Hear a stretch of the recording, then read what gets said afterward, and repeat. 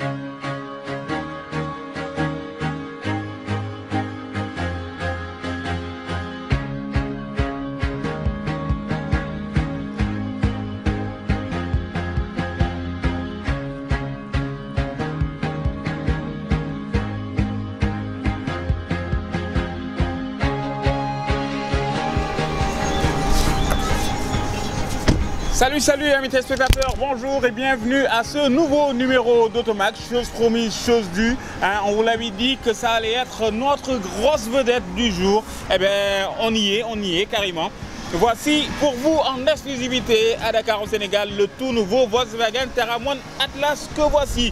C'est un mastodonte. Hein. Il fait quelques 5 mètres 3, un gros véhicule donc. Le plus gros des SUV de Volkswagen, le plus audacieux aussi on vous présente en long et en large.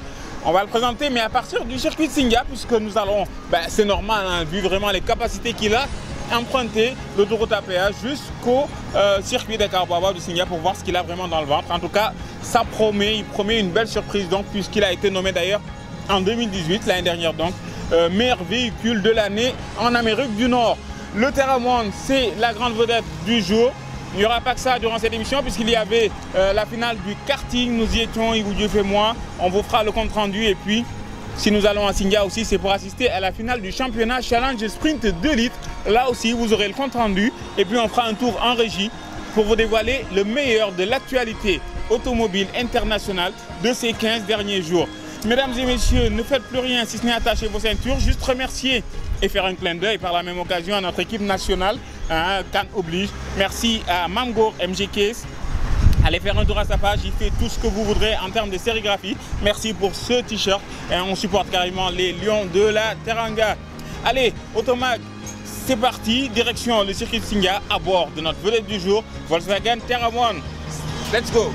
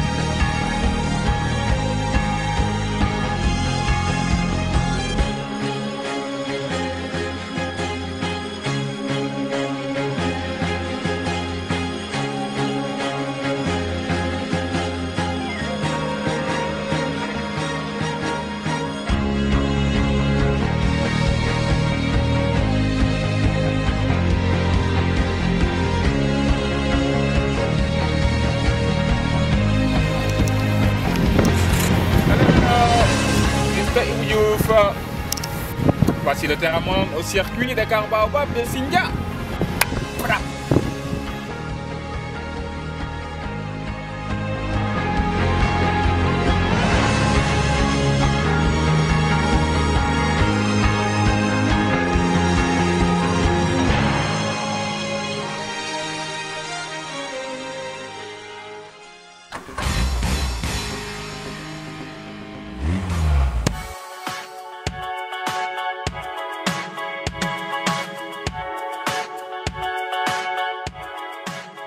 Le succès de son lancement sur les marchés nord-américains, le plus gros SUV de Volkswagen est désormais disponible au Sénégal, uniquement chez CCBM Automobile. Si dans certains pays comme en Russie il se nomme Terramon tout court, et bien chez nous il reprend l'appellation Atlas, comme sur le continent américain où il a déjà reçu plusieurs distinctions, dont celle de Best Car en 2018.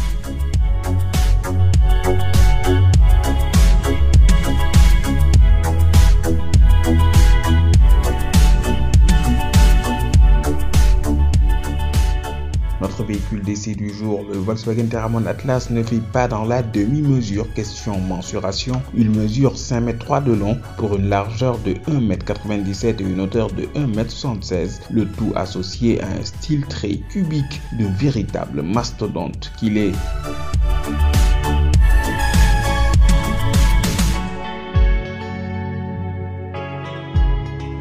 La grande taille du Volkswagen Terramon Atlas lui permet d'offrir un espace intérieur digne d'une salle de concert avec un habitacle record composé de 7 vraies places.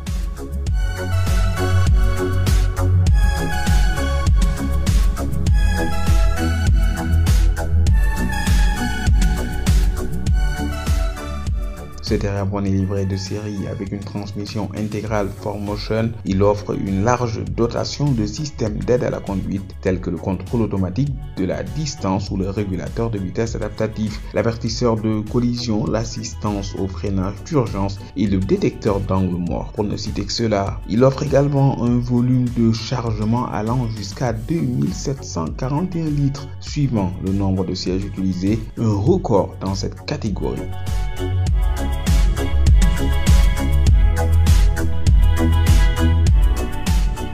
Fidèle au véhicule allemand, l'Atlas offre donc une agilité et une tenue de route impressionnante. Son V6 de 3 litres 6 développant 267 chevaux se montre à la hauteur de la tâche.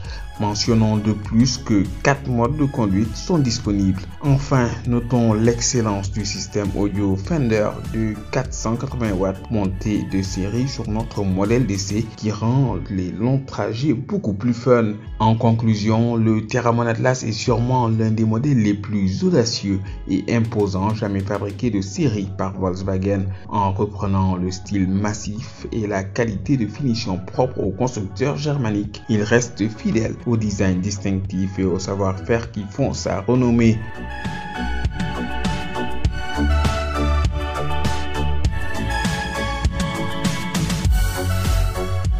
De la place pour 7 et du plaisir en voiture pour tous. Voilà en gros ce à quoi le nouveau Volkswagen Terramon Atlas vous invite. N'y dérogez surtout pas et venez le découvrir avant tout le monde chez CCBM Automobile et nulle part ailleurs. À coup sûr, vous serez bluffé.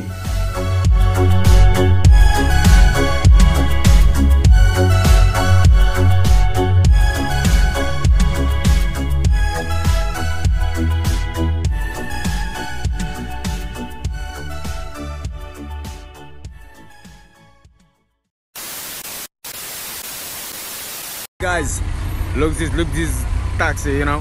He got a taking the trottoir for to passing. You see the because all this embouteillage who you see is just only uh indisciplinary, you know. He don't let the another person to passing. Look this, look this. He plug in the way for to passing. So horse Senegalese boy. Don't to using him hurt for to helping the another person, but hanging soccer. That is our job. Kabira kenn kay wane waaye kenn kay. Kenn kii ngi nëbbatu ay nit ci maal bi ay nit ci maal bi ay Sénégal. Ay Sénégal lii moom. Taay paase ni ngi lay wane ay maire maire séeréer xam nga fu ñu jógee? Ñaar la sax ñaar ay maire séeréer xam nga fu ñu jógee? Waaw. Ñu dugg ci ay lu nekk la ñuy def.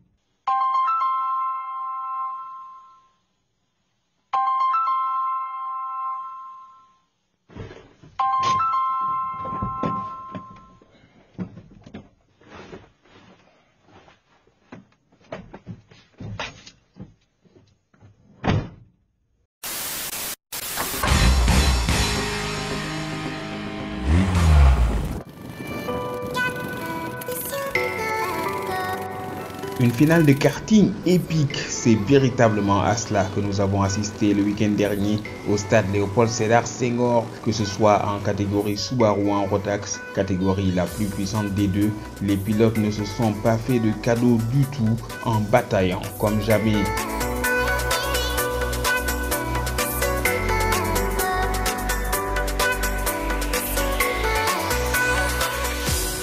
Et si le niveau était si élevé, surtout en Rotax, c'est que certains des pilotes comme Johan Hazard et Elliot Ezedin jouaient ici leur toute dernière finale de karting, car passant tous deux exclusivement à l'automobile dès la saison prochaine au championnat national de sprint 2 litres. Notons d'ailleurs que Johan Hazard cumule déjà ces deux disciplines pour cette année.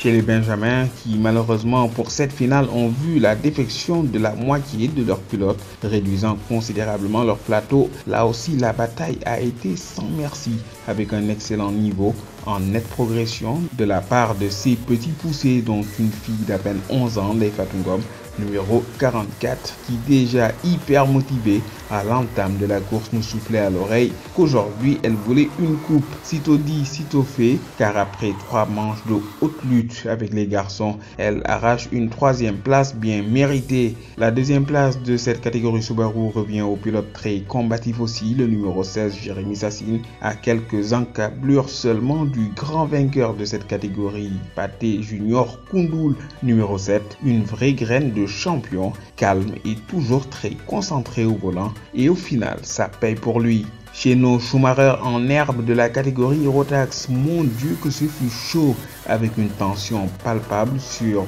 le circuit et même en dehors. Test troisième, Ethan deuxième et Johan premier de cette course. Voici le trio gagnant de cette finale de karting. Notons que les pilotes Elliott, Patrick et Ulysse, respectivement 4e, 5e et 6e, bouclent le classement de cette catégorie. Précisons que Johan Hazard, en remportant cette course, est par la même occasion champion du Sénégal de cette saison 2019.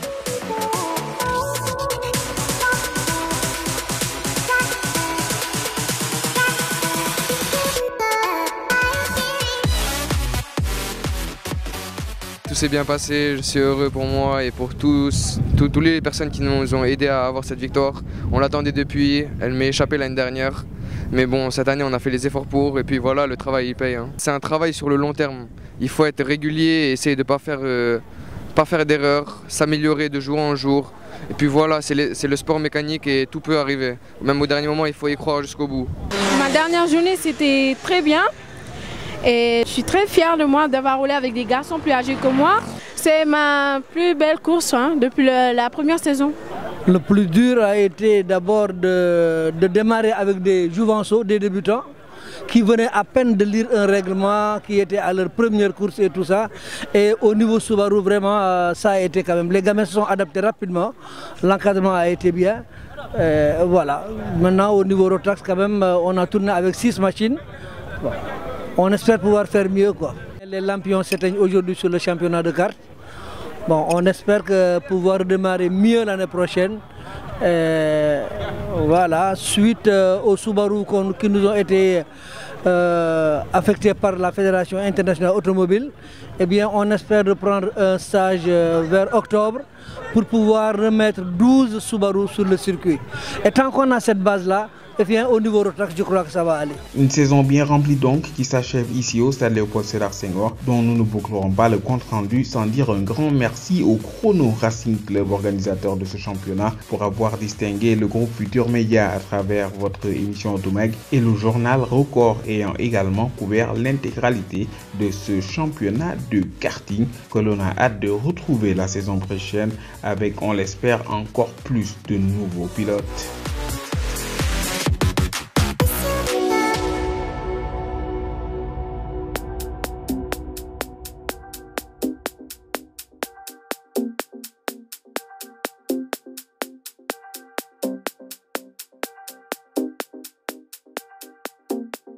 Retour sur le circuit Dakar Babab de Signa pour la cinquième édition du Trophée Henri Diouf qui scelle par la même occasion la fin du championnat automobile sénégalais du Challenge Sprint 2 litres organisé de main de par l'équipe du car, le club automobile du rail créé par Feu Henri Diouf, arraché à notre affection depuis 5 ans déjà et à qui depuis lors cette dernière course de la saison est dédiée en portant son nom. Malgré un plateau timide de seulement 8 voitures sur le départ, à cause notamment des nombreuses casses et autres pannes lourdes survenues lors des courses précédentes, empêchant beaucoup de pilotes de pouvoir participer à cette dernière course de la saison, les deux manches de 45 minutes chacune entrecoupées d'une petite pause auront été un pur régal du long.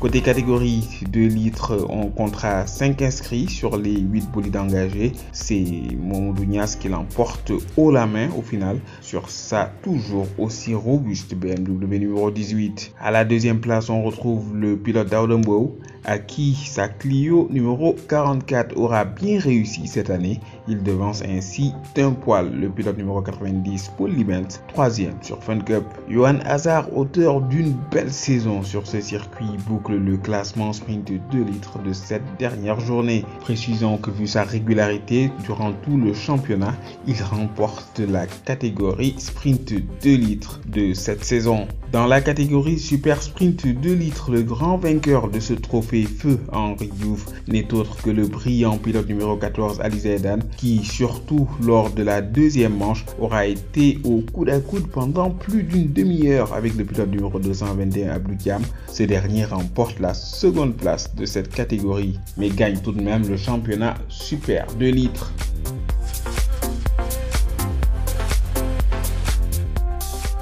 Donc là, en finissant premier, je crois qu'on est deuxième euh, devant, devant Jean Hazard et, et Abdou Cham qui est premier. Je crois que vraiment c'est serré entre nous trois. hein. Je crois qu'il y a peut-être un ou deux points d'écart. Mais la saison globalement s'est bien passée. On a, on a fait des courses du championnat où on a toujours été plus ou moins classé sur le podium. On a fait aussi, bon les 6 heures de Dakar ça a été une déception. Euh, à 12 minutes de la fin on était deuxième au général, on casse. Donc euh, bon, c'est une belle récompense aujourd'hui. Euh, mon coéquipier n'est pas là malheureusement pour des raisons de santé, donc euh, la victoire c'est pour lui. Euh, mais sinon globalement ça s'est bien passé vraiment. Enfin, saluons les très bonnes performances des pilotes Makesek sur BMW numéro 88 et Elzen sur Clio 280 qui malheureusement auront été ce jour pénalisés par le statut 1 du règlement qui stipule que pour être classé, tous les participants doivent franchir la ligne d'arrivée, ce qu'ils n'auront malheureusement pas réussi à faire en fin de course suite tous deux à des ennuis mécaniques. C'est une journée un peu mitigée, c'est vrai, parce qu'on aurait aimé avoir euh, plus de pilotes quand même sur la grille de départ. Mais dans l'ensemble, on est assez satisfait. C'est la cinquième année qu'on organise le trophée Henri Diouf.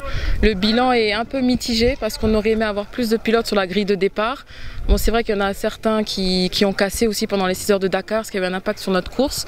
Mais bon, dans l'ensemble, on est quand même satisfait. On a rendu hommage à Henri Diouf et à Jean Tandin qui nous a quittés aussi. Euh, bah, déjà, le championnat du coup reprend en novembre. Donc nous, le car, on va continuer comme d'habitude nos, nos courses.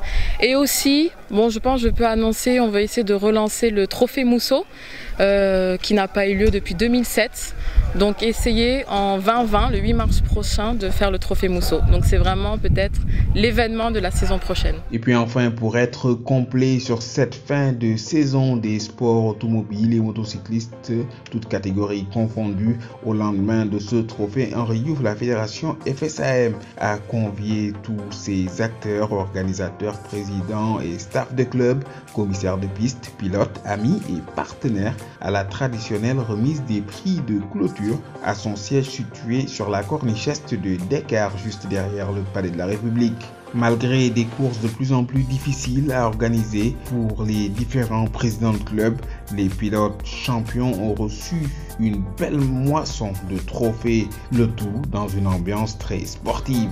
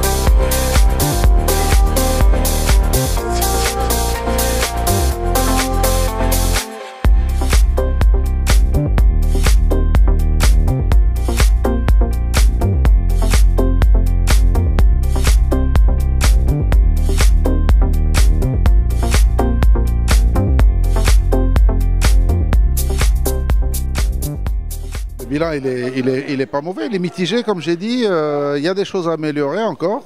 Et euh, il faut qu'on tire les enseignements de cette saison, voir ce qui a fonctionné et, le conserver, et voir s'il n'a pas fonctionné, l'améliorer autant que possible. Pour l'année prochaine, déjà, je voudrais qu'on pousse pour qu'on relance les rallyes, parce qu'on a fait trop peu de rallyes cette année. on va déjà essayer de faire venir les gens qui ont envie de se balader, qui n'ont pas envie de, forcément de courir après le chrono, les encadrer, faire de la formation sur le tout-terrain et euh, amener des gens avec nous qui ne sont pas forcément en compétition mais qui vont épaissir le plateau euh, de, telle sorte euh, qu'ils puissent, qu'ils puissent goûter aux joies du tout-terrain. Et j'espère que parmi ceux qu'on amènera, certains franchiront le pas pour aller à la compétition. La prochaine saison va débuter avec la moto à partir d'octobre et là, les voitures à partir de décembre. Et puis on va dérouler comme ça jusqu'au mois de mai. Euh, avec un changement majeur, on va essayer de changer la date des 6 heures de Dakar euh, qui vont avoir lieu entre fin février et mi-mars de façon à pouvoir faire venir des pilotes euh, étrangers puisque eux à partir de fin mars ils ont leurs championnats nationaux qui, qui démarrent et si on veut avoir une compétition internationale il faut qu'on se positionne un peu plus tôt dans la saison.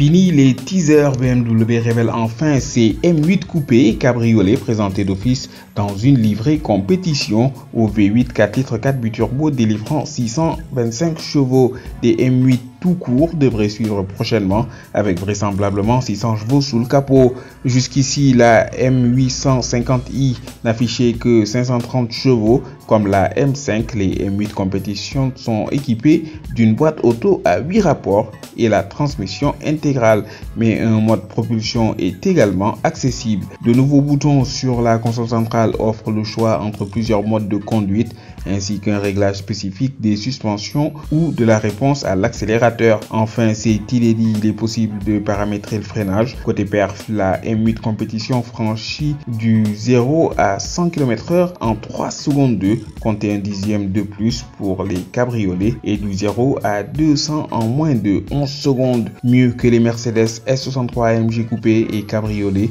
une centaine de kilos plus lourdes. Reconnaissable à leur kit carrosserie spécifique avec elle élargie leurs jantes 20 pouces et leurs 4 sorties d'échappement. Les M8 compétitions seront lancées en septembre, mais on connaît déjà leur prix, comptez 173 000 euros pour le coupé et 181 000 euros pour le cabriolet.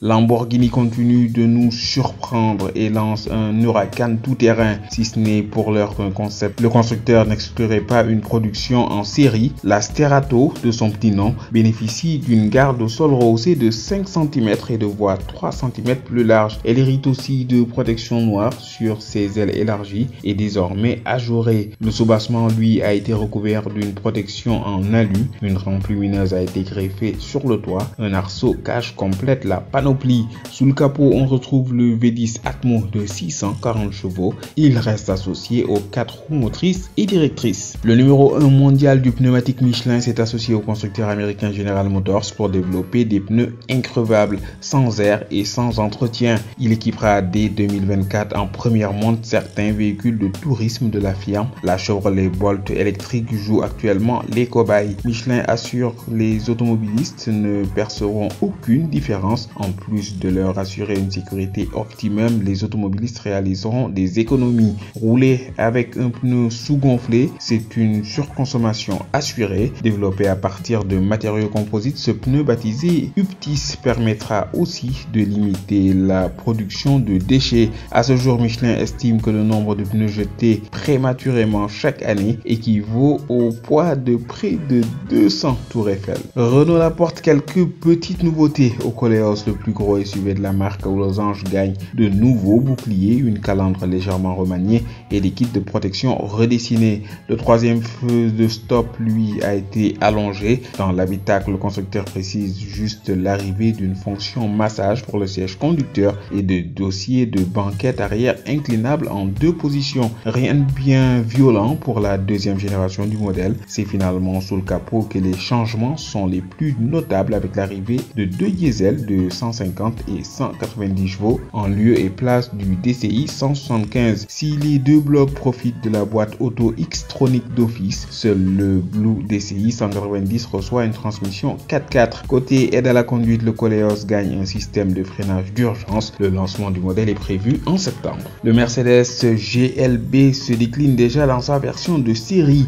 Deux mois à peine après avoir été présenté sous forme de concept, les deux modèles ont le même look, 3 plus court que le GLC. Le nouveau venu a l'avantage de proposer 5 ou 7 places, une première sur le segment des SUV compact Mercedes et chez ses rivaux premium les Audi Q5 et BMW X3. Des assises optionnelles qu'on réservera plutôt aux enfants sur ce modèle, même si Mercedes assure qu'une personne d'un mètre 68 y loge facilement. À vérifier bien sûr. Quelle que soit la configuration, le GLB profite d'une banquette inclinable et coulissante de 14 cm. En mode 7 places, le volume de coffre se réduit à 179 litres. C'est un peu plus qu'un Peugeot 5008. La planche de bord est calquée sur les récentes productions de la marque. On retrouve les deux écrans numériques. Sous le capot, deux essences et deux diesels sont proposés pour des puissances de 150 à 224 chevaux. Une boîte robotisée à cet rapport est associée à l'essence d'entrée de gamme d'origine Renault. La transmission 8 vitesses est proposée sur tous les autres. En revanche, la transmission intégrale reste une option. Arrivée du GLB en fin d'année. Pour assurer notre sécurité, les constructeurs et équipementiers ne manquent pas d'idées. Dans la famille des airbags, on pensait avoir tout vu. C'était sans compter sur l'allemand ZF qui vient de développer et tester le premier airbag latéral extérieur. Le coussin logé dans le bas de caisse se déploie en 150 millisecondes en cas de collision imminente. Celle-ci est détectée par le biais de caméras, radar laser et un système d'intelligence artificielle.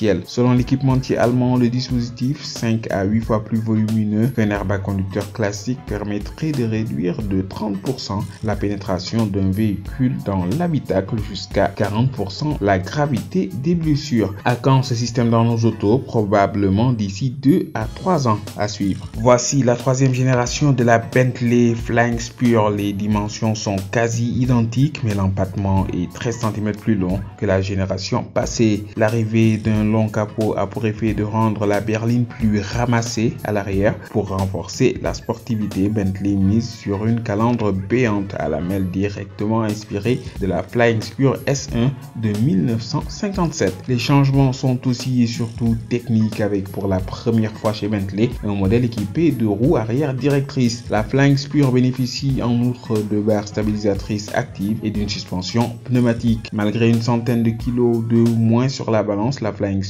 Fait toujours son poids 2 tonnes 4 à vide. Pour autant, l'anglaise ne manque pas de tonus avec un 0 à 100 expédié en 3 secondes 8 grâce à son W12 6 litres turbo de 635 chevaux. L'ancienne génération équipée du même bloc demandait 4 secondes et demie sur le même exercice. La VMAX, elle culmine désormais à 333 km/h contre 320 par le passé. Lancée à l'automne, la Bentley Continental Flagspur s'offrira son premier bain full au salon de Francfort. Après la berline vient le break logique. BMW décline sa série 3 en mode touring pour la sixième fois de son histoire. La longueur totale s'établit à 4,71 m comparé à l'ancienne génération. Le break s'est allongé de près de 8 cm de plus. En revanche, le volume de coffre n'a augmenté que de 5 décimètres cubes. En contrepartie, BMW a repensé les aspects pratiques de la soute avec un rayon électrique de série, un cache-bagage qu'il est possible de ranger sous le plancher de coffre et un revêtement plus adhérent pour limiter le mouvement des bagages. En option, une commande permet désormais d'abaisser automatiquement les dossiers de la banquette. Le cockpit du break est calqué sur celui de la berline et bénéficie des mêmes innovations dont les compteurs numériques. Et sous le capot, eh bien, les blocs essence et diesel développent de 150 à 374 chevaux pour la version vitaminée M340i. Cette dernière profite d'office de 4 roues motrices et d'une boîte auto à 8 rapports. À noter qu'une version hybride de 293 chevaux sera lancée en 2020 avec un peu plus de 60 km d'autonomie en électrique. La série 3 Touring sera commercialisée fin septembre, juste après le salon de Francfort. Break toujours, l'Audi A6 passe en mode all-road quattro avec une garde au sol rehaussé et l'ajout de skis de protection alu dans les bas de caisse et de plastique au niveau des passages de roues. La panoplie est assortie transmission intégrale, d'une suspension pneumatique et d'un mode de conduite spécifique tout-terrain. En option, la 6 All-Road peut profiter de roues arrière directrices. Sous le capot, seul un V6 3 litres TDI officie. Il est décliné en trois niveaux de puissance 231, 286 ou 349 chevaux. La boîte est forcément automatique à 8 rapports. Commercialisation prévue courant juin en Allemagne, mise à prix un peu plus de 61 000 euros. Après deux ans d'absence, la technologie hybride est de retour chez Peugeot sur les 508 et 3008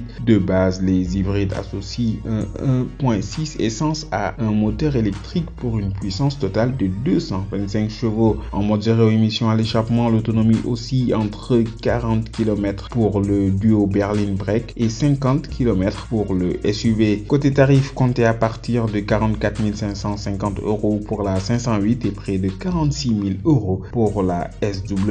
La 3008 démarre à 43 800 euros. Les modèles revendiquent une conso entre 2 à 3 litres au 100. Trois niveaux de finition sont proposés. L'équipement de série comprend clim, autoradio, GPS, écran tactile de 10 pouces, caméra de recul, détecteur d'angle mort et rétroviseur intérieur sans cadre. Le 3008 est également décliné avec une motorisation plus performante de 300 chevaux qui lui permet de profiter de 4 roues motrices. Tarif 53 800 euros. Il n'est associé qu'à la finition la plus chic GT qui offre projecteur full LED, jante 19 pouces ayant main libre et sellerie cuir Alcantara. Un prix proche de son cousin, le DS7 Crossback intense. Mais le trouble fait dans l'affaire, c'est l'Opel Grandland X Hybrid 4 qui partage la même technologie, profite de 300 chevaux aussi, mais s'affichera à un prix plus attrayant. À présent, les Engine of the Year, voici un aperçu du palmarès 2019 pour la quatrième année consécutive. Ferrari remporte le titre de moteur de l'année, toute catégorie confondue, pour son V8 biturbo. Indétrônable, Ford rafle pour la onzième année la mise avec son 3 cylindres EcoBoost dans la catégorie des moteurs de moins de 150 chevaux. Jaguar se voit remettre deux prix pour la mécanique de son SUV électrique IPS, dont le titre de meilleur nouveau moteur. Enfin, BMW se distingue avec sa i8. Les hybrides Porsche, Audi et Mercedes AMG ont aussi été récompensés. Allez, bouclons en force avec le constructeur allemand Porsche qui vient de lever le voile sur sa sportive Cayman GT4 de nouvelle génération de 718. La bonne nouvelle, c'est qu'il abandonne son 4 cylindres pour un 6 cylindres à plat atmosphérique de 420 chevaux associé à une boîte manuelle à 6 rapports, ce qui représente tout bonnement un gain de 35 chevaux comparé à l'ancienne génération. Et une chose est claire, ça s'entend.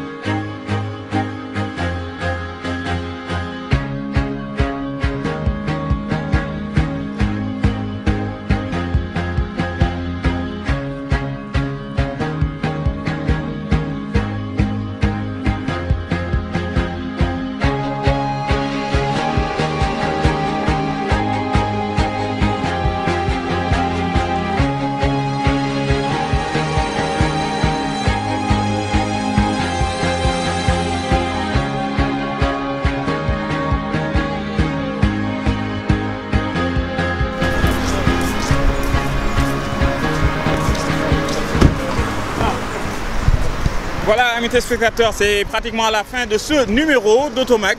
Merci infiniment à vous de l'avoir suivi. Juste vous rappeler que notre vedette du jour, c'était euh, le gros Volkswagen euh, Terramon Atlas que voici. Venez le découvrir. En tout cas, nous, il nous a bluffé hein, durant euh, ce week-end. Euh, on l'a amené au circuit Dakar Baobab de Signa, vous l'avez vu. C'était l'une des grosses attractions euh, de cette journée. En tout cas, venez le découvrir et vous attend ici. Les clés, elles sont là. Je vous les laisse comme à l'accoutumée avec euh, Awandong et Pape Aliou, euh, nos amis de chez CCBM Automobile qui se font un plaisir de vous le faire euh, essayer, de vous le faire découvrir encore une fois en long et en large et vous ne serez pas déçus. Merci à toutes les équipes techniques qui m'accompagnent aujourd'hui, Mayag. Merci à Marie Guéguin pour la coordination de cette émission. Et puis un big up à Mamgo de MG Case pour toutes vos solutions de sérigraphie. Euh, Faites-lui euh, un petit coucou, les coordonnées s'affichent au bas de l'écran. Un petit clin d'œil comme ça euh, à l'équipe nationale, nos Lions aussi, qui sont à la Cannes en Égypte. On les encourage, hein, les gars, on est derrière vous. Et puis un petit big up aussi à nos gars de Flagsen, Biram et Mordo qui sont partis à Logne en France à bord de leur tout petit avion Piper. Merci pour votre fidélité. On se donne rendez-vous très très vite pour un tout nouveau numéro d'Automac. D'ici là, portez-vous bien. Bye Automac vous a été offert par CCBM Automobile.